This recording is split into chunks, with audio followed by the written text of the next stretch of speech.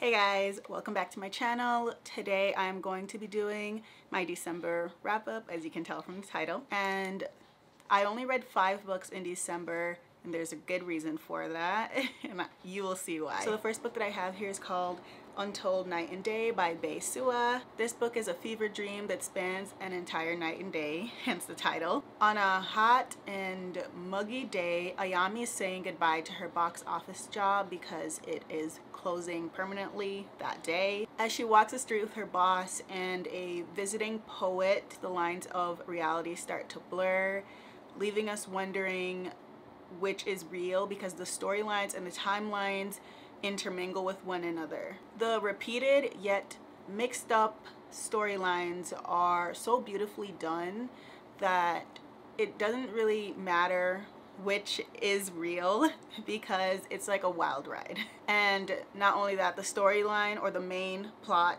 doesn't really seem as important. I just thought that this book was just a quick and easy read that I really enjoyed. I wasn't sure at first because it does get a bit confusing when the storylines start to resemble one another, but once that once you go past that, it becomes very interesting and the ending how it wraps up is pretty good.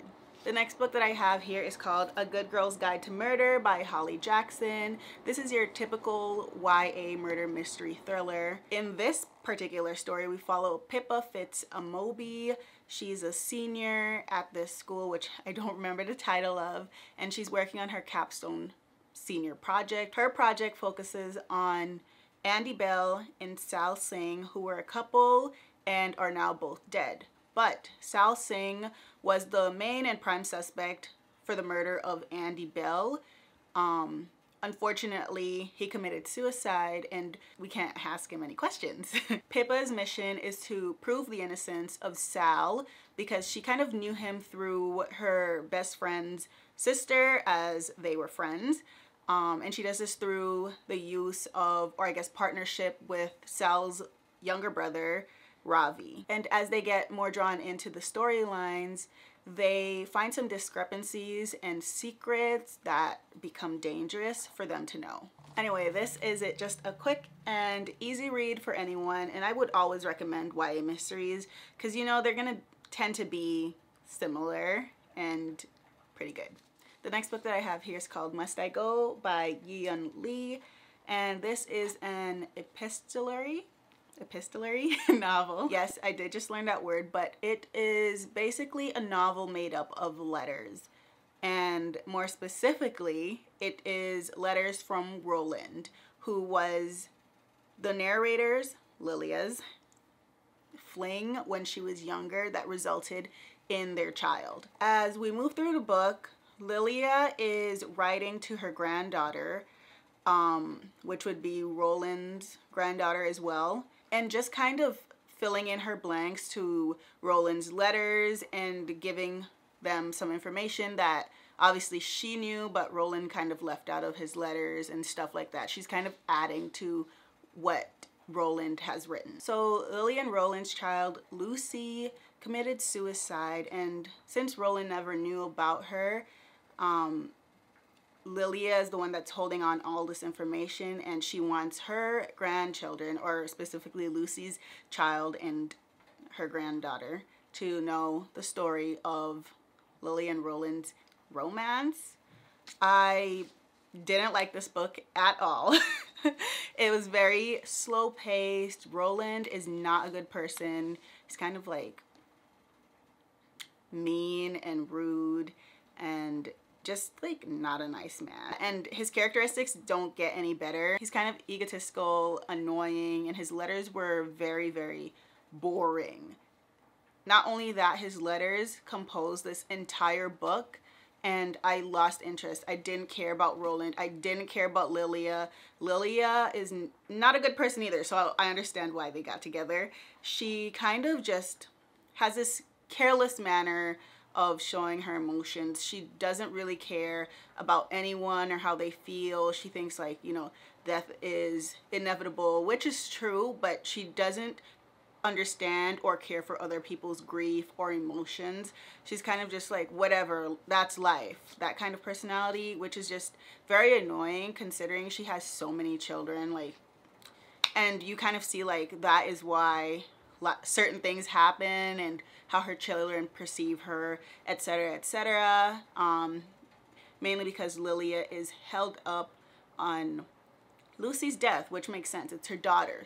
But she doesn't seem to understand why Lucy could have thought about killing herself or any of that. Like, all of that is just out of her mind. And it seems like she wants to blame Roland for that, but yeah, she's not a good person either. So, not saying that certain things happen because of her, but I think her lack of understanding definitely added to that. The next book that I have here is called His Only Wife by Peace Adzo Medie. This book takes place in Ghana and we are flung right into the book with the start of Afi getting married to Elikem. But Elikem is not there for the wedding, so in place of him, she is marrying his brother as Elikem. What she doesn't realize is that by marrying him, she's marrying the family. She's told by Auntie Elikem's mom and siblings that the reason that she's needed to marry Ellie is because they do not approve of the woman that he's with currently. They pretty much just talk a bunch of shit about this woman and say she's ugly, she's rude, she's disrespectful to him and his family, she's always holding him hostage, she put voodoo on him, she's kind of like using some kind of power to make sure that he stays with her and kind of like disobeys his family. The family thought that by having him marry Afi, that she would be very obedient and listen to them because they're kind of a very powerful family. But what they didn't realize is that Afi has a backbone and I was loving her. She was very adamant, she was very straightforward and knew exactly what she wanted and would, you know, go to the extremes to make sure that she got it. Soon after, Afi realizes that maybe that family is not as good as she originally thought and that they are kind of used to having power and control over everyone. And yeah, it's a family drama and I thoroughly enjoyed this book. It's also very funny so I feel like anyone would enjoy this book. So the final book that I have here is one that I didn't think I would complete this year for various reasons, but mainly because of the size.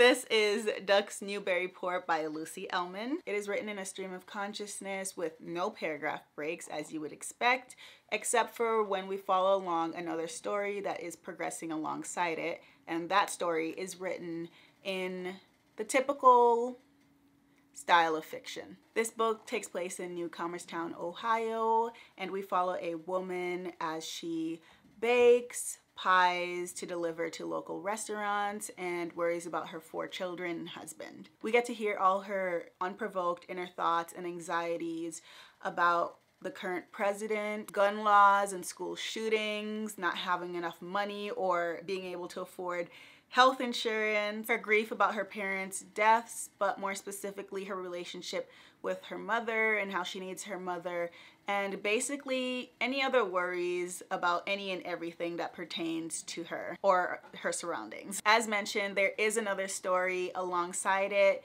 that gives you a much needed break. We follow a mountain lion and her cubs in a world where there are similar threats and anxieties that can affect them. I love how Ellmann weaves these stories together so beautifully and especially the last three to 400 pages where the stories kind of get wrapped up. It is a hefty book, so I'm not sure I would recommend it to lots of people just because, I mean, this is what you're dealing with.